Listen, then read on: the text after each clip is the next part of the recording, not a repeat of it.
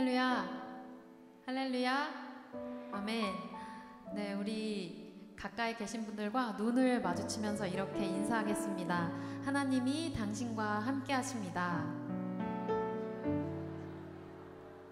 아멘. 오늘은 특별히 청년 수련회로 함께 진행됩니다. 우리가 청년의 열정을 가지고 주님을 찬양하며 주님이 찾으시는 그 예배자로 승리하기를 소원합니다. 우리 함께 일어나서 찬양하시겠습니까?